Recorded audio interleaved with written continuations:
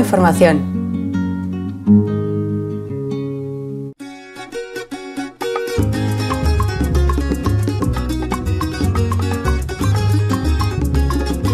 Allá por el año 1881, en el momento en que José Martí salía de Venezuela por ese camino de la Guaira, que conocen bien los venezolanos que están aquí, saliendo de Venezuela dijo, deme Venezuela en qué servirla, ella tiene en mí a un hijo.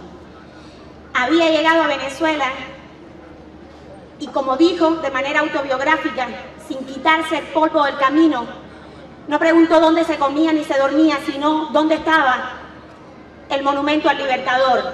Y allí fue a rendir homenaje. El 23 de enero del 59, recién había triunfado la revolución, Fidel visitó Venezuela, el primer país que visitó después del triunfo revolucionario. Y fue allí porque ya veía en Venezuela un compañero para luchar contra el imperialismo. Ya veía en Venezuela un potencial compañero para enfrentar la hegemonía del imperialismo. Allí dijo, esta es la patria del libertador, el lugar donde se concibió la idea de la integración latinoamericana. Los cubanos respaldaremos en eso a nuestros hermanos venezolanos.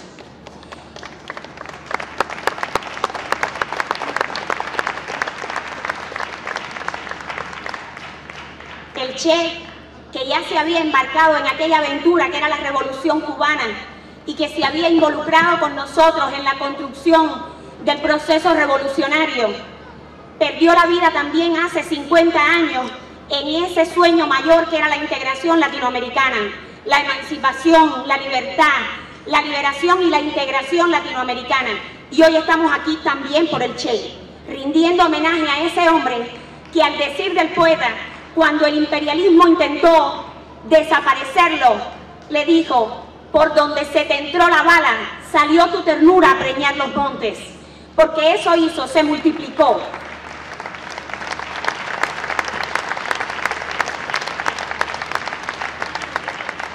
Tuvieron que pasar 40 años para que Venezuela impulsara un cambio geopolítico en nuestro continente, en favor de las ideas más progresistas, en favor de las ideas de izquierda.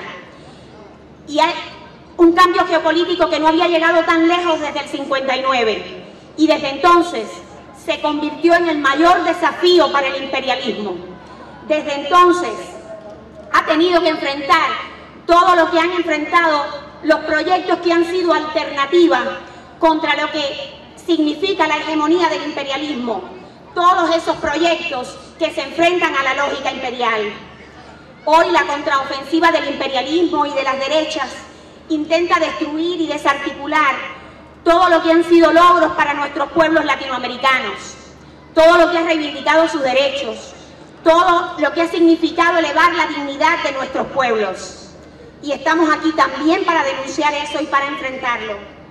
Fidel dijo, si queremos salvar a la América Latina, si queremos salvar a las sociedades de América Latina, que es al final una sola sociedad latinoamericana, si queremos salvar a la revolución cubana, a la revolución venezolana, tenemos que respaldarnos unos a otros sólidamente. Solos y divididos fracasaremos. Y por eso estamos empeñados en este sueño común, en este sueño que es de todos los latinoamericanos. Hoy la única alternativa de los revolucionarios es echar rodilla en tierra con la revolución bolivariana. Sería, sería el mejor homenaje a Bolívar, el mejor homenaje a Martí, el mejor homenaje al Che, a Chávez, a Fidel. Sería la consagración definitiva del sueño de integración latinoamericana y de las ideas de emancipación. El pueblo cubano sabe, y lo han dicho aquí quienes me precedieron y a quienes agradecí, sabe cuánto cuesta la resistencia de un pueblo, sabe cuánto dolor significa, cuánta pérdida de vidas humanas incluso, pero sabe también que vale la pena esa resistencia si significa mantener la dignidad de un pueblo. Y sabemos que el pueblo venezolano resistirá. Lo ha demostrado y lo sigue demostrando todos los días la revolución cubana profundamente martiana, profundamente fidelista, y por coherencia y fidelidad a su pueblo y al pueblo venezolano que demuestra todos los días la vocación de la solidaridad, la reciprocidad de esa solidaridad, seguirá siendo solidaria con Venezuela. Es la manera de ser coherente, es la manera de ser fiel a esa voluntad de los pueblos, de nuestros pueblos, que hasta los días más recientes ha ayudado al pueblo cubano después del desastre del huracán Irma. Es la manera que tenemos de seguir siendo fieles a esa vocación solidaria, internacionalista de nuestros pueblos. Por tanto, hoy resumimos la postura del pueblo cubano en aquella misma frase en que en 1881 lo expresara José Martí.